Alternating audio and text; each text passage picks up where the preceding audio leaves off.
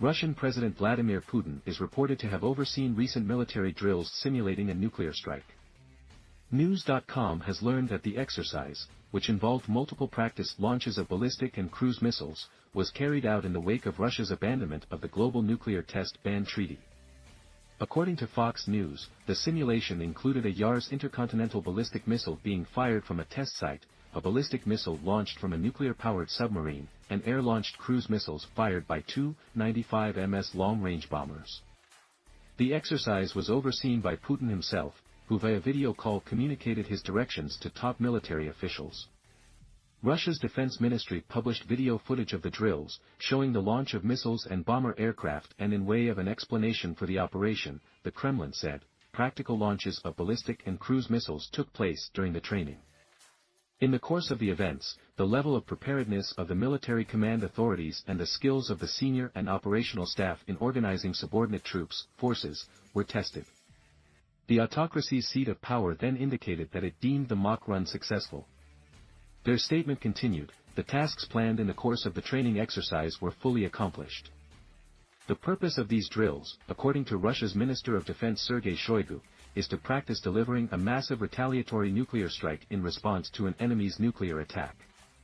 This action comes after Russia's decision to revoke the Comprehensive Nuclear Test Ban Treaty, a decision that appears to be the result of a vote in the Russian Duma. The vote, however, follows Putin saying that the motion would place Russia's nuclear policies on par with that of the United States.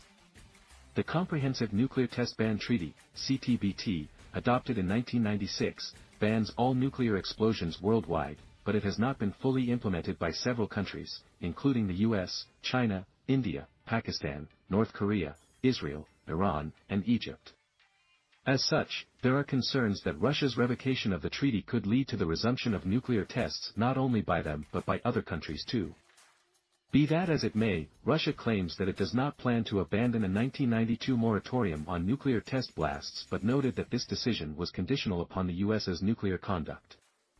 Russia's Deputy Foreign Minister Sergei Ryabkov states that Moscow will continue to adhere to the ban and will only resume nuclear tests if the US does so first. Ryabkov also mentioned that the U.S. had reached out to Russia to talk about strategic stability and arms control issues since its decision to abandon the treaty, per Fox, but noted that Putin's administration had turned them down. We aren't ready for it because the return to a dialogue on strategic stability. As it was conducted in the past is impossible until the U.S. revises its deeply hostile policy course in relation to Russia, Ryabkov told the country's press.